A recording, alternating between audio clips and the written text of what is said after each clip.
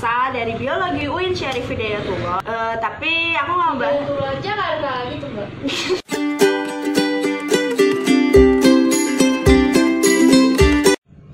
Assalamualaikum warahmatullahi wabarakatuh Hai teman-teman, aku Salsa dari Biologi UIN Syarif Hidayatullah Jakarta Nah kali ini kita bakalan chit-chat tentang salah satu rukun Islam kita Apa ya? Hmm, yaitu sholat Tapi di sini aku mau ngebahas cuma sholat berjamaah doang Nah di sini eh, aku nggak sendirian Aku ditemenin sama dua teman aku Yang pertama ada Indah Hai ada Dita Hai. Di sini sini. Nah. Di sini kita bakalan ngebahas tentang sholat berjamaah. Tapi kita eh, ngebahasnya nggak mau begitu formal atau begitu kaku. Kita bakalan gimana? Ngebahasnya Santai-santai aja. Game. Jadi kita bakalan bikin Samyang Challenge.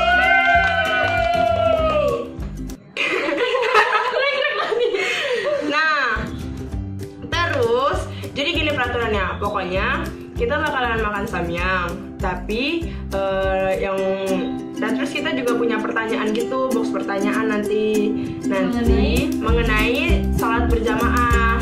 Jadi nanti ada kayak box undian gitu. Setiap kita mau minum, kalau misalkan kan samyang pedes ya. Kalau misalkan mau minum, kita setiap eh, kalau misalkan minum sekali berarti pertanyaannya dia minum sekali gitu ngerti kan? Dadah, langsung aja kita ke gamesnya.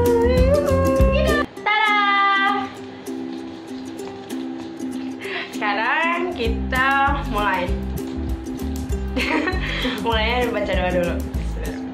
Allahumma barik lana fi ma razaqtana wa qina azabannar. Amin.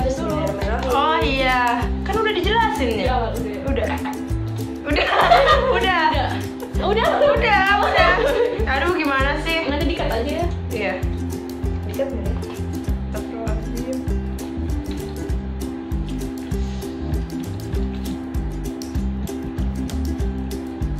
Habis jadi imam. Jadi ini dulu-duluan habis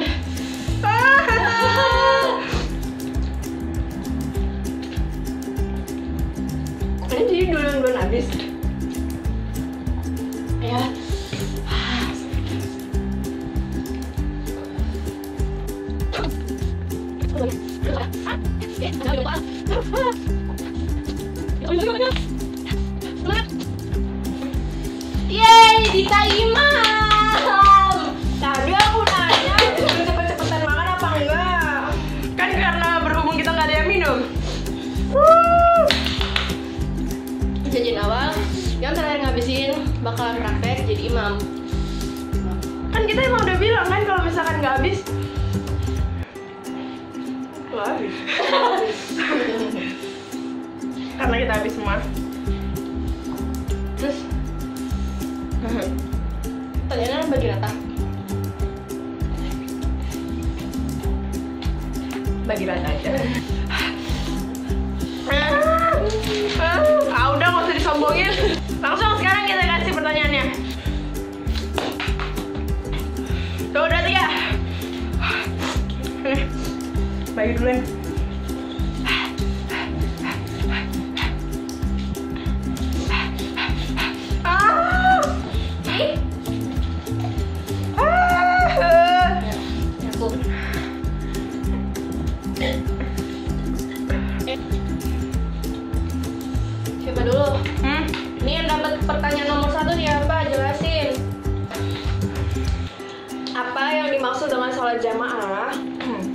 baca boleh. Caca. Karena intinya kita ngejelasin. Ya, jadi sholat berjamaah berjamaah itu secara bahasa kata jamaah itu berarti kumpulan atau bersama-sama. Menurut istilah, sholat berjamaah adalah sholat yang dilakukan secara bersama-sama oleh dua orang atau lebih, yang salah satunya menjadi imam, sedangkan yang lainnya menjadi makmum. Seperti, itu. Samaan. Jadi Abi siap jadi imam kita. Next pertanyaan nomor dua. Nih, oke.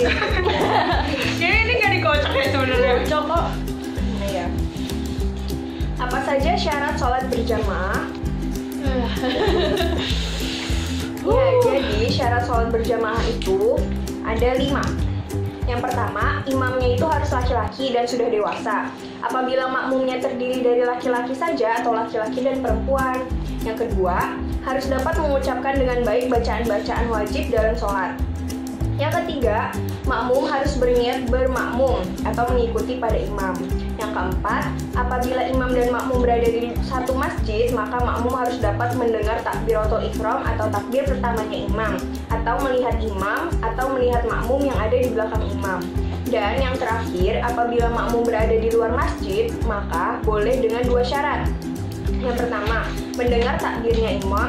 Yang kedua, syaf atau barisnya harus menyambung. Next. Pertanyaan nomor tiga. Itu aku. Ini tiga ya. Rukun-rukun sholat berjamaah dan niat sholat subuh secara berjamaah. Ini pertama niat. Dua, Takbiratul takbiratul ihram. Baca doa iftitah. Terus Al-Fatihah. Terus apa lagi? Surat surat-surat pendek. Surat-surat pendek, terus habis itu ruku, habis itu eh, tidak lah ya? Iya.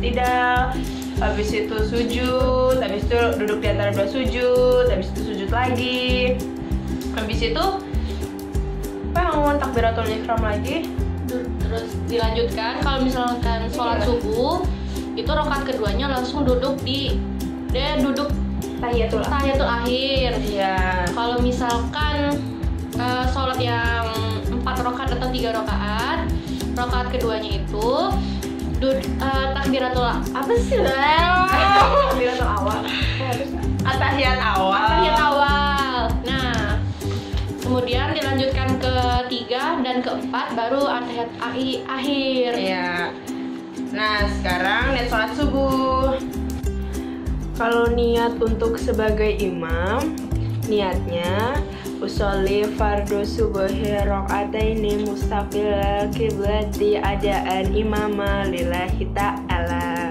Kalau sebagai makmum gimana? usolli fardu subuhi rakaataini mustaqbil kiblati adaan makmuman lillahi ta'ala Oke. Sekarang pertanyaan nomor 4. Bagaimana aturan penyusunan syaf pada sholat berjamaah. Nah, kalau udah dijelasin tuh, yang namanya sholat jamaah itu ada imam dan makmum. Jadi, kalau misalkan eh, apabila makmum hanya seorang, maka disunahkan berdirinya di sebelah kanan imam. Terus, tapi dalam posisi sejajar. Nah, yang kedua, apabila makmum dua orang atau lebih, maka imam di posisi depan, tepatnya di tengah antara kedua makmum tersebut. Nah, kemudian yang ketiga, apabila makmum terdapat laki-laki dan perempuan, maka makmum laki-laki di depan makmum perempuan. Yang keempat, apabila makmum terdapat laki-laki dewasa, anak-anak, dan perempuan, maka makmum laki-laki dewasa tepat berada di belakang imam. Kemudian di belakangnya laki-laki remaja atau anak-anak, baru kemudian perempuan. Lanjut, nomor 5. aku kayaknya aku deh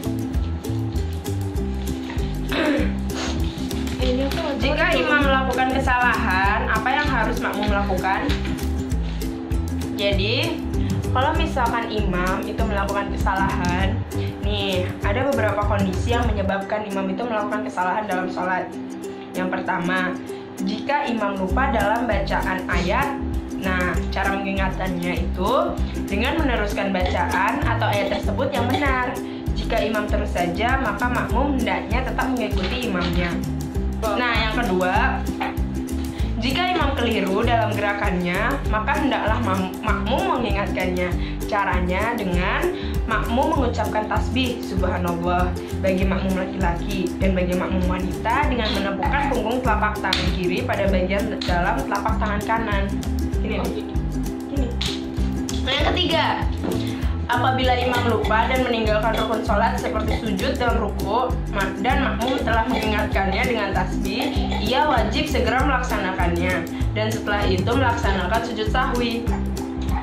Yang keempat, khusus pada masalah imam lupa melaksanakan tasyahud awal, Bila imam telah terlanjur berdiri tegak sempurna ketika makmum mengingatkannya, maka imam tidak perlu kembali duduk, namun melanjutkan sholat dan melakukan sujud sahwi.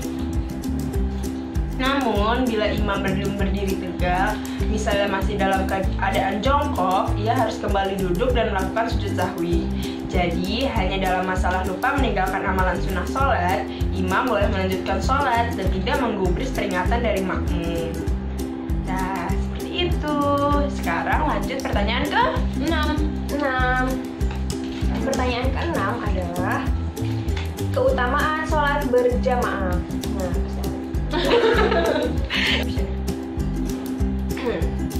Nih, Kak, eh, ada beberapa keutamaan sholat berjamaah. Yang pertama itu mendapatkan pahala yang berlipat ganda, sebab sholat berjamaah lebih utama 27 derajat dibandingkan sholat sendirian. Yang kedua, di an-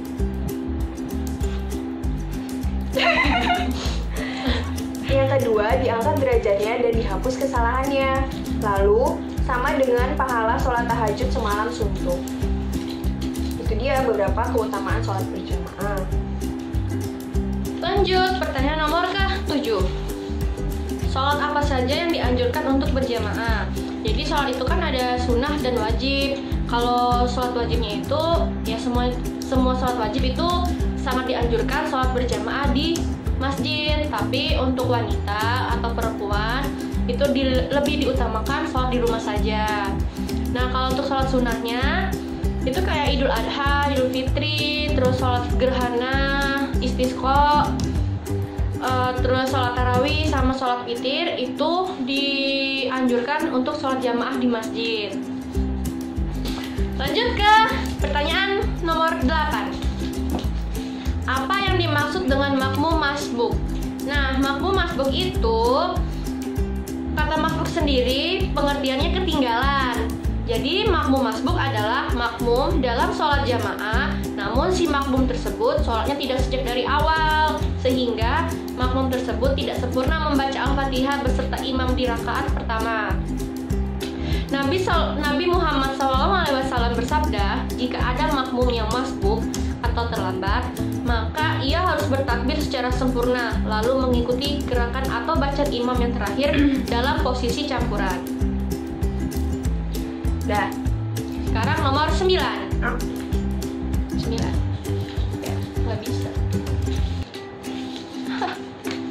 Bagaimana cara melaksanakan sholat makmum masbuk? cara melakukan sholat makmum masbuk jika makmum masih mendapatkan ruku bersama imam, maka ia sudah terhitung mendapatkan rokaat.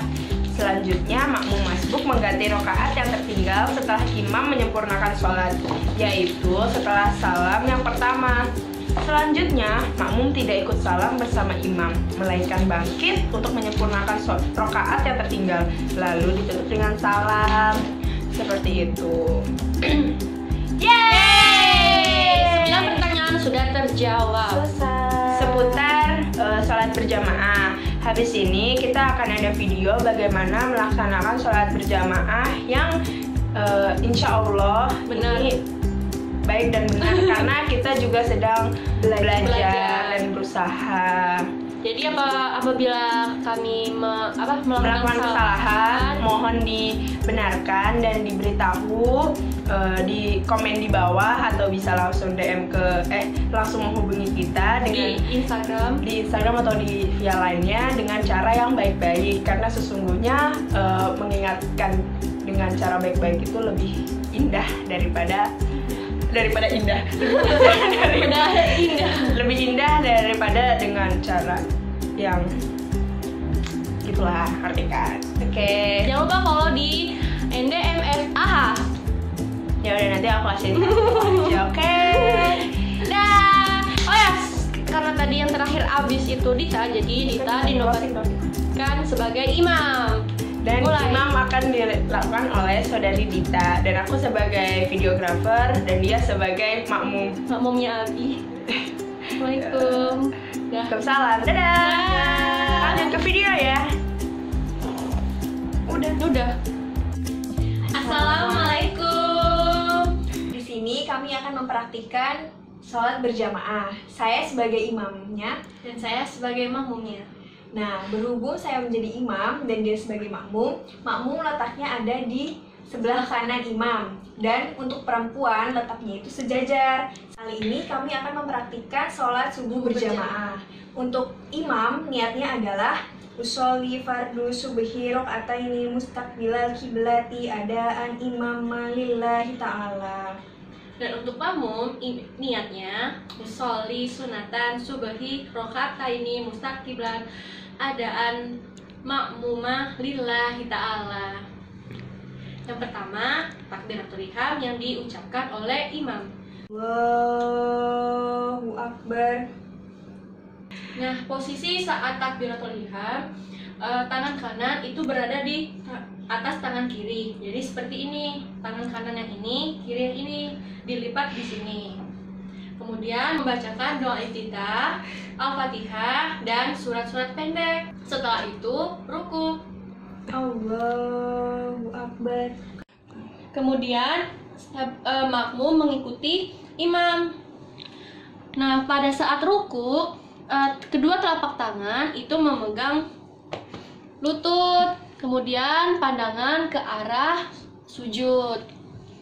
Pada saat ini membacakan doa Subhana Robial Azimi wa bihamdi sebanyak tiga kali. Setelah itu iktidal. Sami Allahu liman hamidah Untuk letak tangan itu langsung ke bagian samping paha dan membaca doa Robbana lakal hamdu mil'us samawati wa mil'ul ardi wa mil'u ma syita min syai'in ba'du. Setelah itu langsung sujud. Allahu Akbar. Sujud membaca Subhana Robbiyal A'la wa bihamdi sebanyak tiga kali. Setelah itu langsung duduk di antara dua sujud. Allahu Akbar. Saat duduk di antara dua sujud membaca Robbi firli warhamni wajburni warfa'ni warzuqni wadini wa'afini wafu'ani. Setelah itu sujud kembali. Allahu Akbar. udah bangun Allahu Akbar. Ketika bangun dari sujud, kemudian eh, memasuki rakaat kedua, yang dibaca adalah surah Al-Fatihah dan surat surat pendek. Kemudian melanjutkan ke gerakan ruku. Allahu Akbar. Sami Allahu liman hamidah. Allahu Akbar. Allahu Akbar. Allahu Akbar. Akbar. Untuk rakaat terakhir saat setelah dua kali sujud adalah gerakan tahiyat akhir dengan membaca At-tahiyatul mubarakatus sholawatut thayyibatu lillah. Assalamu alayka ayyuhan nabiyyu wa rahmatullahi wa barakatuh. Assalamu alayna wa ala ibadika sholihin Ashhadu an la ilaha illallah Wa ashhadu anna muhammadar rasulullah. Allahumma sholli ala sayyidina Muhammad wa ala ali sayyidina Muhammad. Kama sholaita ala sayyidina Ibrahim wa ala ali sayyidina Ibrahim wa barik ala sayyidina Muhammad wa ala ali sayyidina Muhammad kama barakta ala sayyidina Ibrahim wa ala ali Ibrahim. Fil alamina innaka hamidum majid. Lalu gerakan terakhir adalah salam. Assalamualaikum warahmatullahi wabarakatuh. Assalamualaikum warahmatullahi wabarakatuh.